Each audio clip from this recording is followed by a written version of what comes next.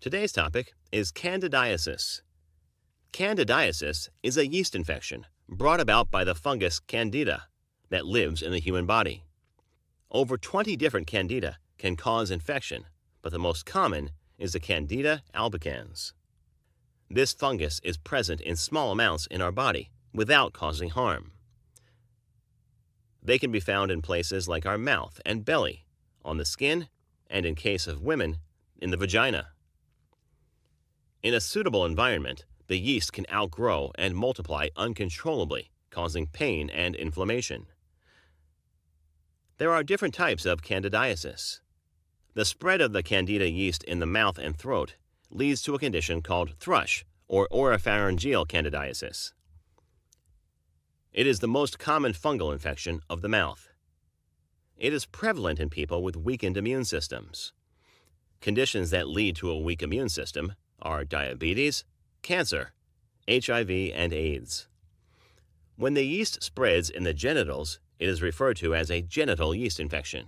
Women are more affected by the genital yeast infection than men. The genital yeast infection affects 3 out of 4 adult women. When the yeast enters the bloodstream and spreads to other parts of the body, such as the kidney, spleen, bones, muscles, joints, or eyes, it is called invasive candidiasis. Causes A number of factors can increase the possibilities of yeast growing out of proportion.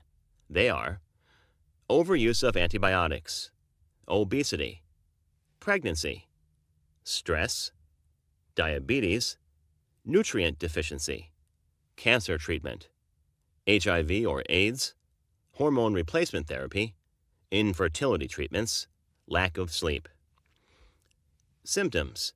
Symptoms of thrush include redness or soreness in the mouth and throat, cracking at the corners of the mouth, pain when swallowing, white or yellow patches on the tongue, the roof of the mouth, and inner cheek.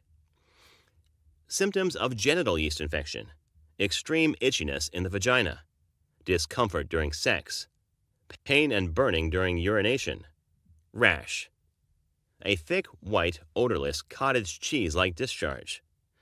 In men, the tip of the penis may be red, swollen, and painful. Diagnosis your doctor may review your medical history and ask questions about recent diet and medications that may weaken your immune system. The diagnosis usually depends on skin sampling. Skin scrapings from the affected area are taken and mounted on a slide for examination. Once candidiasis is confirmed, the underlying cause is addressed. This may include managing your weight if you are overweight, managing your diabetes if you suffer from it, or living a hygienic lifestyle. A pelvic examination may be required where the doctor examines your vaginal walls and cervix and also looks at the surrounding areas for signs of external infection.